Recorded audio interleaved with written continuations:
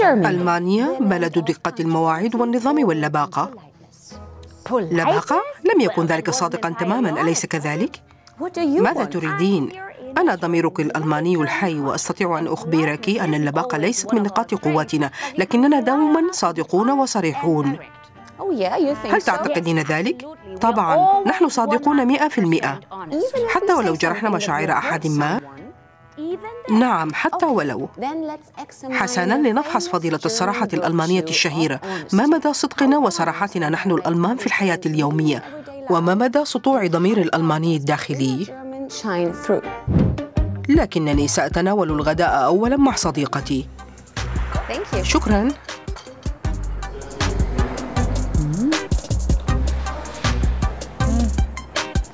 أليس طعمه لذيذ؟ ليس تماما. كيف كان الطعام؟ رائع. شكرا لك.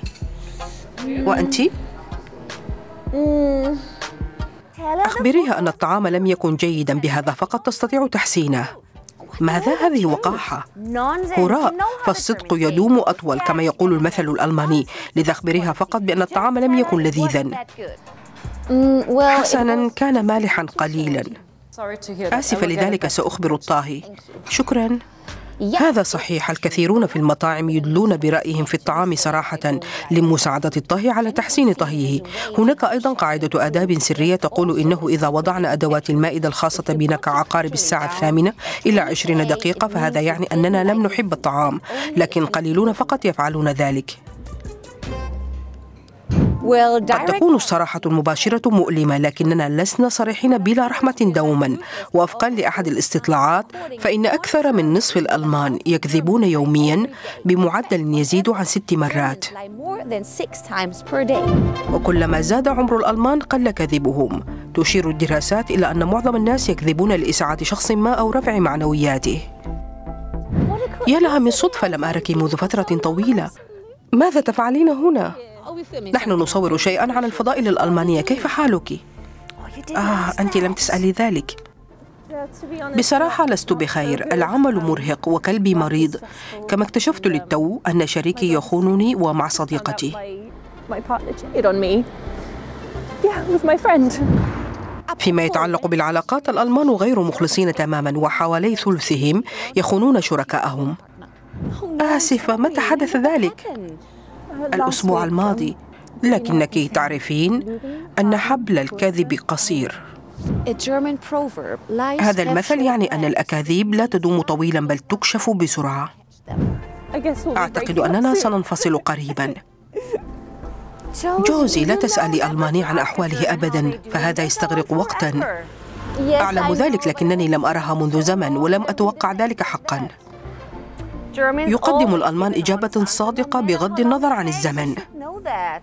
أنا آسفة جدا لكن علي الذهاب. هل نلتقي قريبا؟ سأتصل بك. لكن علي الذهاب الآن. حتى الآن ظلت الكليشيهات عن صراحة الألمان صحيحة. إذا سألتم عن شيء فستحصلون على إجابة صادقة. شئتم أم أبيتم؟ هذا ما قلته هو الأمر نفسه في العمل. نعم لكننا أقل صراحة ومباشرة هناك. سترين.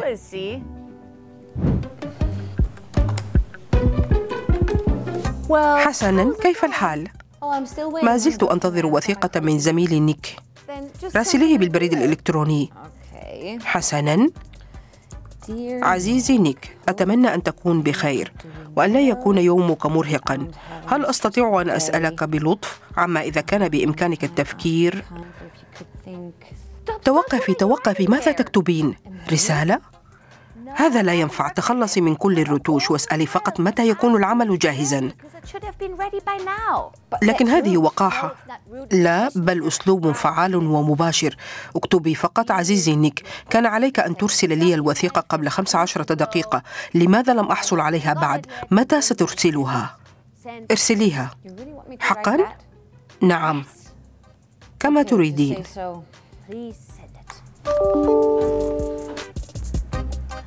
لقد كنت محقة. إذا نحن الألمان صادقون وصريحون فعلا ولا أستطيع إنكار هذا وهذا لا يعتبر هنا فضلا على الإطلاق.